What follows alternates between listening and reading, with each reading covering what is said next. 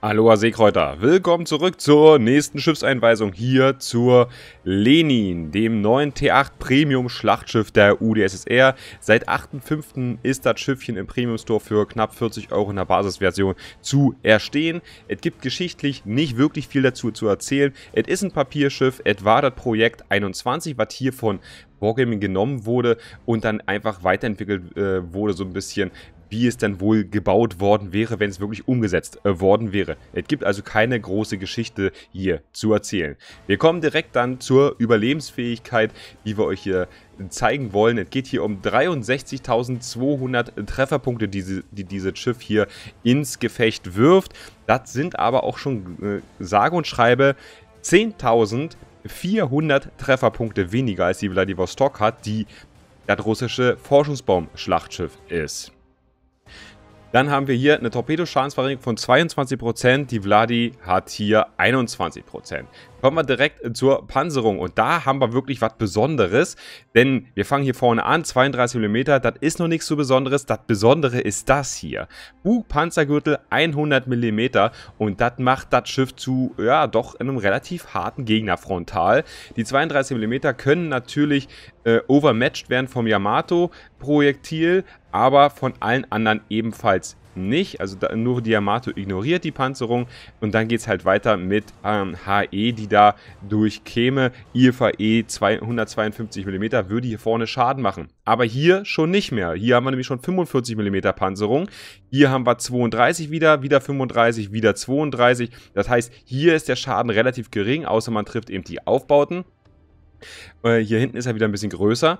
Und dann haben wir hier an der Seite eben noch 350 mm zu 150 in den Kasematten. Und dann hier gibt es noch an der Seite so einen kleinen Panzergürtel bei den 50 mm am oberen äh, Decksbereich.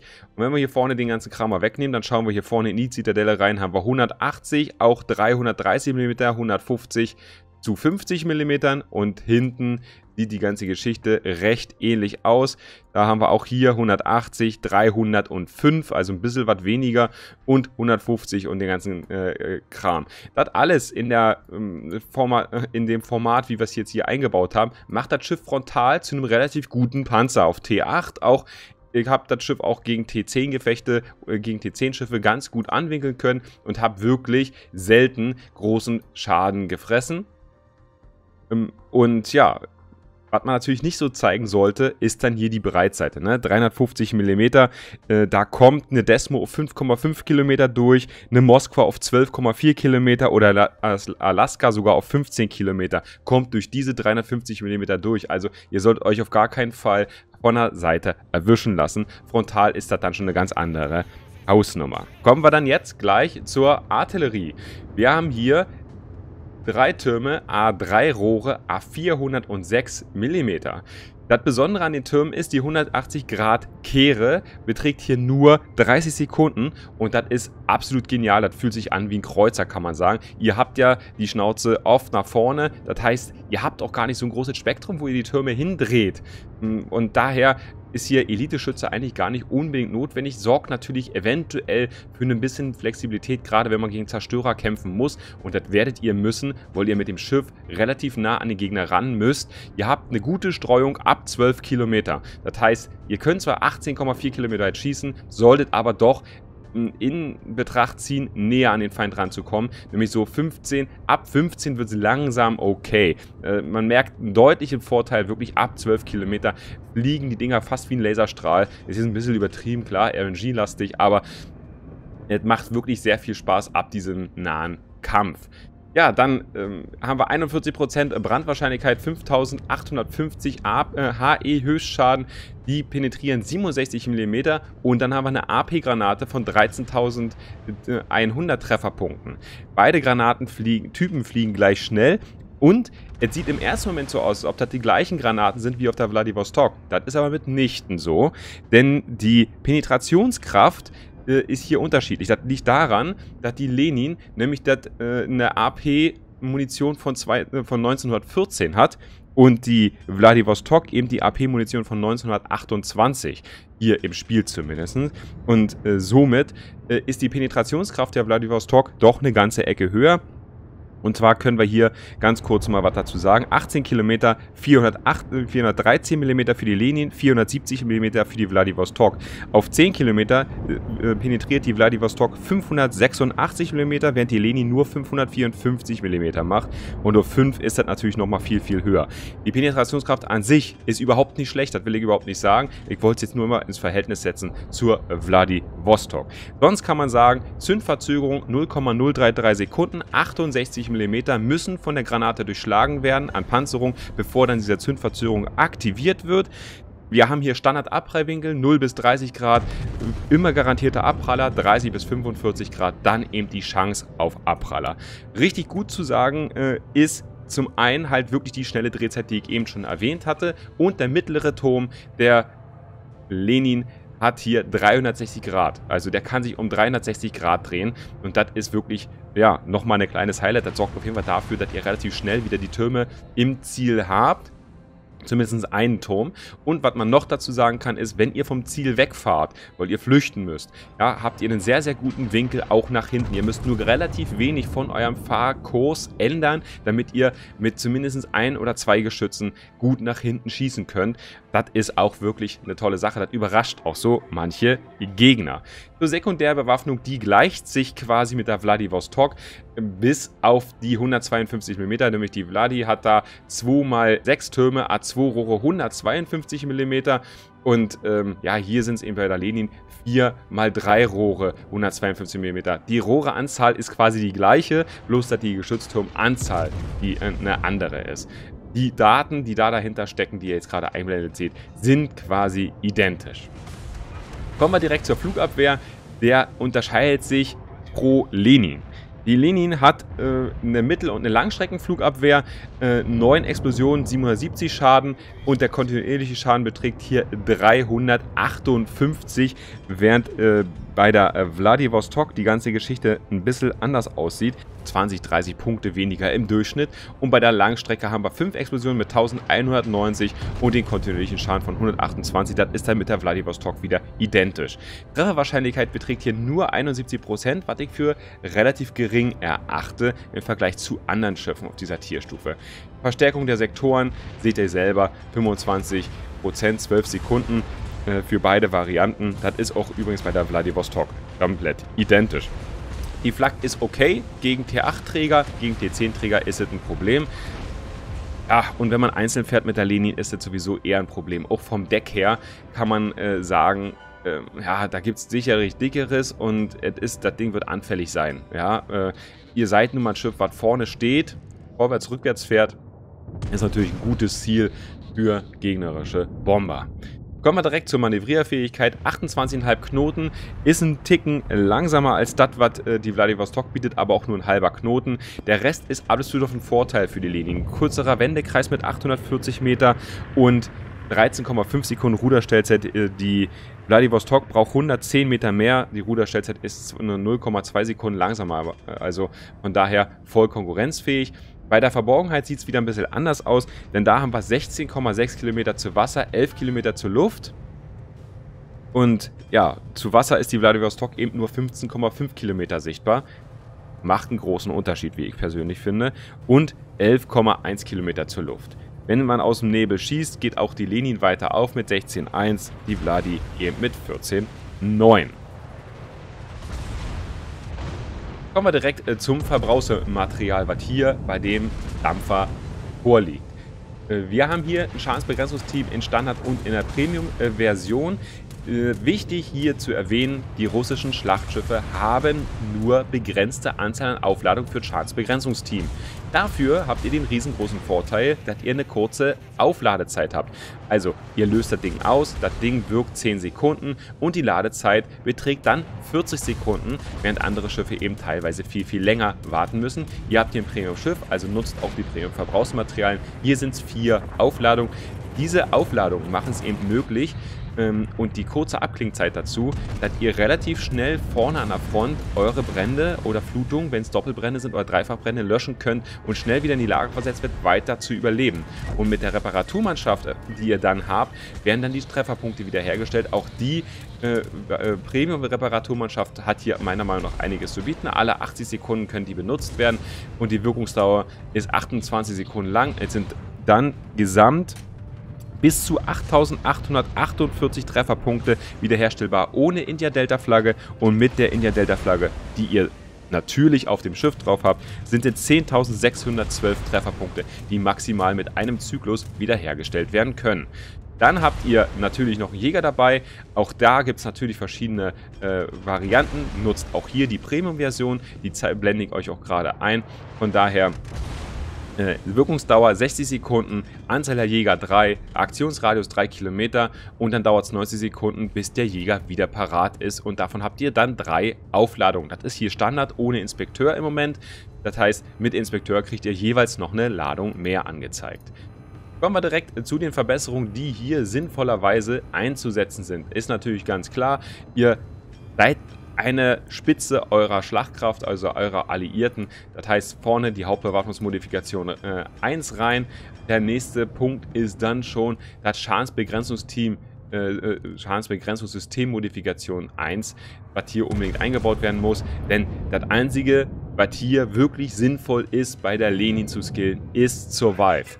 Ihr seid ganz, ganz vorne, ihr müsst nah ran an die Gegner, ihr werdet schnell gefokust werden und äh, ja, dann von kleinen Kreuzern, von mittleren Kreuzern und natürlich auch von Schlachtschiffen. Ihr werdet häufig äh, ähm, brennen wahrscheinlich, ganz einfach, weil ihr im Fokusfire steht, weil ihr viel mit HE beschossen werdet, auch wenn sie dann teilweise nicht durchkommen.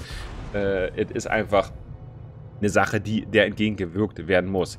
In Slot äh, 3 baut ihr die Zielsystemmodifikation ein, um noch weniger Streuung zu erreichen. Das wirkt sich natürlich nochmal besonders positiv auf die kurze Distanz aus. Wenn ihr Zielsystem hier nicht braucht, weil ihr sagt, okay, die 7% machen den Kohl nicht fett, ich fahre sowieso so nah ran, dass ich treffe, dann kann man hier als einzige Alternative meiner Meinung nach noch die Flak-Modifikation einbauen, um die Explosion in Mittel- und Langstrecke zu erhöhen, was den ähm, Piloten nochmal ein bisschen schwieriger macht, daran zu kommen. Also, ich baue jetzt hier äh, die Zielsystemmodifikation ein und dann geht es weiter in Slot 4 Schadensbegrenzung Systemmodifikation. Da gibt es gar keine andere Wahl. Ihr habt eine super Ruderstellzeit. Der Antrieb ist meiner Meinung nach auch nicht schlecht. Also ihr kommt relativ schnell wieder vorwärts zurück. Für einen Schlachtschiff natürlich. Und in Slot 5 bauen wir hier die Tarnsystemmodifikation ein, um einfach die Streuung der gegnerischen Granaten auf das eigene Schiff nochmal einen Ticken zu erhöhen und dann von den 16.6 runterzukommen, damit ihr da weniger weit sichtbar seid. Bei den äußeren Sachen. Kommen wir zuerst zu einer Tarnung. Ihr bekommt hier so eine hübsche Tarnung mit, die seht ihr auch gerade angebracht auf dem Dampfer. Der bringt Erkennbarkeit äh, zu Wasser minus 3%, Streuung der Granaten plus 4%, Stiftswartungskosten um 10% reduziert und EP-Gefecht um 50% erhöht. Dann kommen wir zu den Signalen, die hier natürlich sinnvoll sind. Fahren wir oben links an. Natürlich die November Echo 7 Flagge. Gerade bei den heutigen Flugzeugträgern äh, und der Häufigkeit ihres Auftretens ist es unbedingt notwendig, diese Sache reinzubauen. Dann kommen wir gleich als nächstes. India Delta Flagge. Pflicht Flagge auf diesem Schiff. Nächster Punkt ist dann India Yankee, um die Brandbekämpfung zu beschleunigen. Und Juliet Yankee Biso 2, hier Reparaturdauer des Wassereinbruchs um 20% reduziert. Das ist also wirklich, wirklich wichtig, weil ihr steht viel, die Flugzeugträger werden euch definitiv anfliegen. Da geht gar kein Weg dran vorbei sozusagen.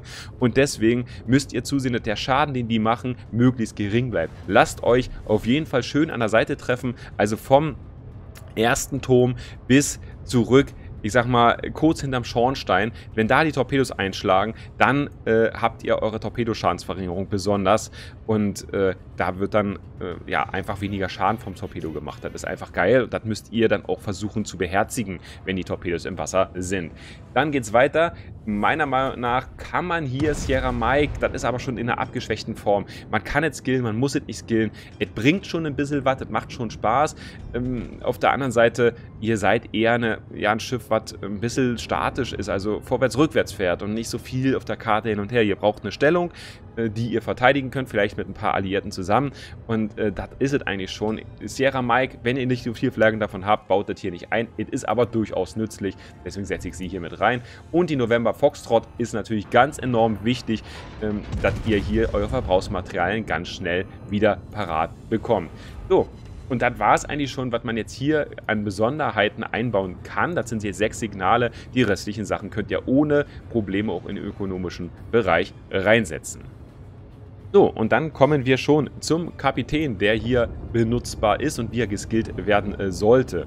In ähm, meinem Fall äh, ist das jetzt hier kein besonderer Kapitän, aber ihr wisst ja vielleicht, hat mit Update 084, wer unseren Kanal regelmäßig schaut, weiß das, äh, ein neuer Kapitän ins Spiel kommt, nämlich der äh, Nikolai Kuznetsov und der hat ganz besondere Fähigkeiten, die genau darauf ausgerichtet sind, äh, einem Schlachtschiff zu dienen, sozusagen.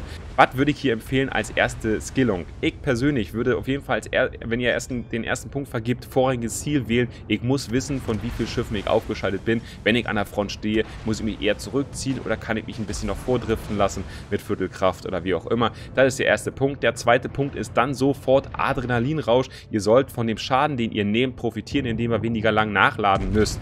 Dann gibt es den dritten Punkt. Der dritte ist dann nämlich gleich Grundlagen der Überlebensfähigkeit, um einfach dat, äh, die Brandbekämpfung Bekämpfung noch weiter zu beschleunigen und auch das Wasser auspumpen muss beschleunigt werden damit ihr eben vorne länger überlebt. Und in Slot 4 kommt nicht der Tarnungsmeister, sondern kommt direkt der Brandschutz. Ihr steht vorne am Feind bei 12 Kilometer ungefähr. Das heißt, ihr seid sowieso offen bei der heutigen Flugshow, äh, äh, die ihr euch jedes Mal beim Gefecht da so reinziehen dürft. Äh, seid ihr quasi perma offen, kann man sagen. Und durch die Nähe zum Feind.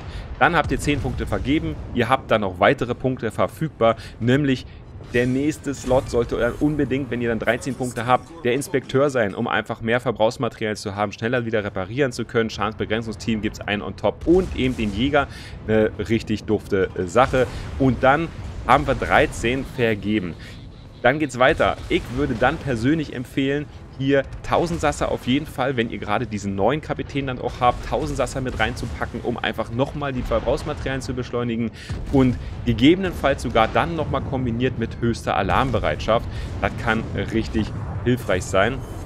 Ja, und dann äh, ist es so, obliegt es euch so ein bisschen, was ihr dann lieber wollt. Wollt ihr lieber oben nochmal Ladeexperte mit reinbauen und vielleicht Beschussalarm oder so eine Sachen?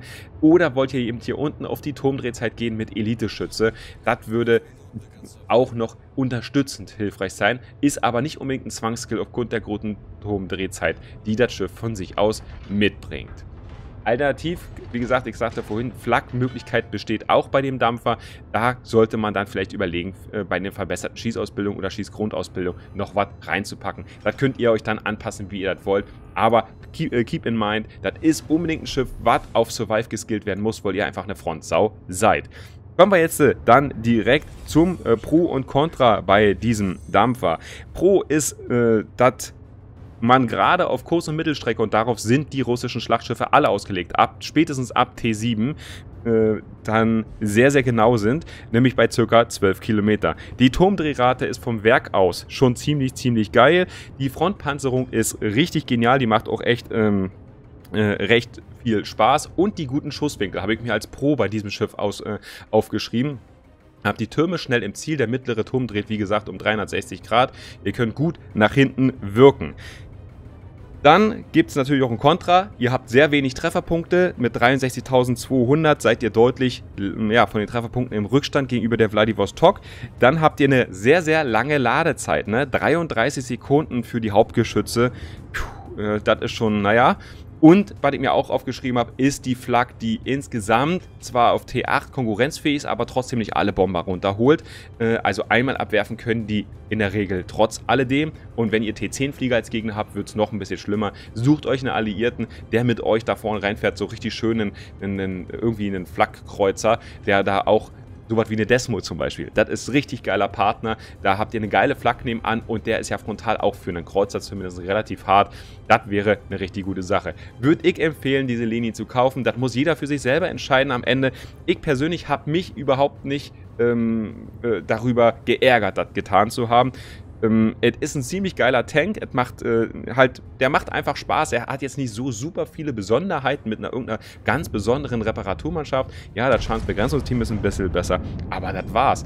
Und aber das macht irgendwie fetzter Teil. Muss man ganz ehrlich sagen, ich habe nicht bereut, das Geld ausgegeben zu haben.